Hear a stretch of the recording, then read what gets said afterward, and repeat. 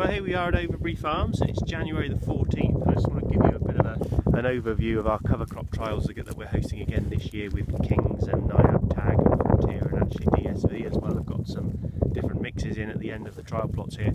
I'm not going to have time to walk across the whole field.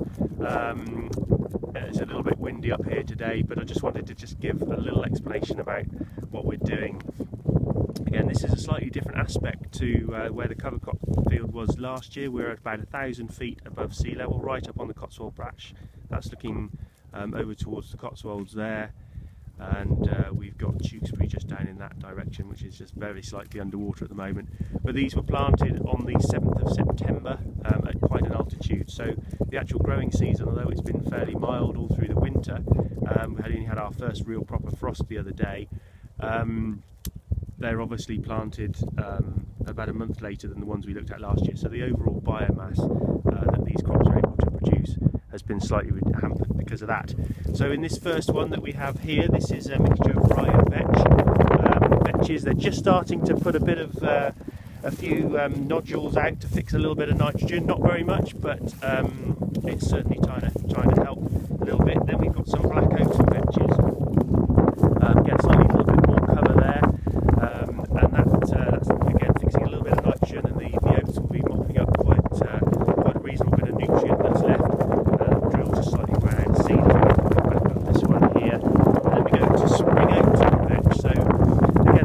lighter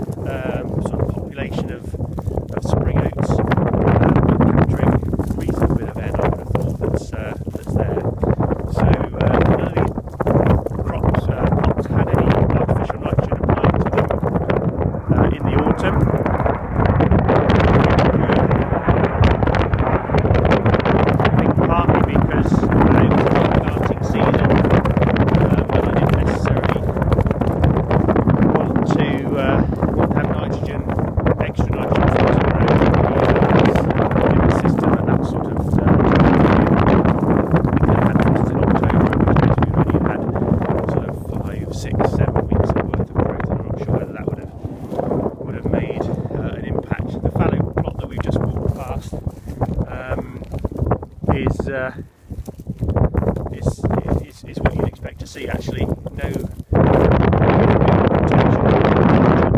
residue um, for the soil surface, no biological activity, um, no sugars being uh, being put back into the soil. And it's um, it's quite a bare sort of existence really um, which is not what you find exactly next door here um, where it's a black oat radish and vetch uh, quite like that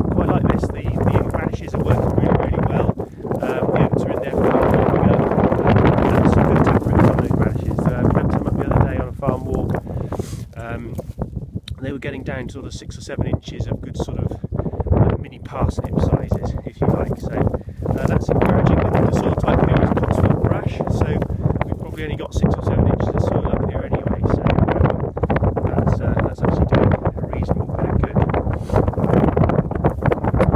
And uh, as we move across this way, um, we're into uh, soil structure mix, um, which is sort of oats and phacelia, radishes, um, so quite a bit more of a diverse, uh, diverse kind of species mix really, which is which is one of the things that I look for.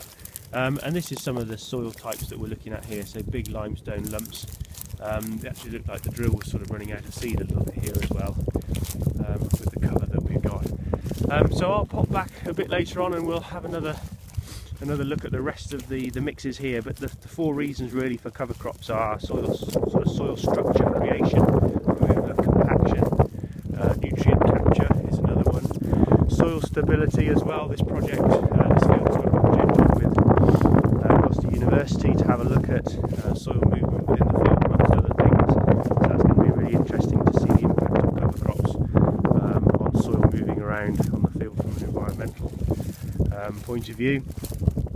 And uh, finally, it's all about organic matter creation. You've seen the stones that we have here. We don't have very much soil, so the more of this organic matter, and I appreciate it's going to take a long time to get there, um, but uh,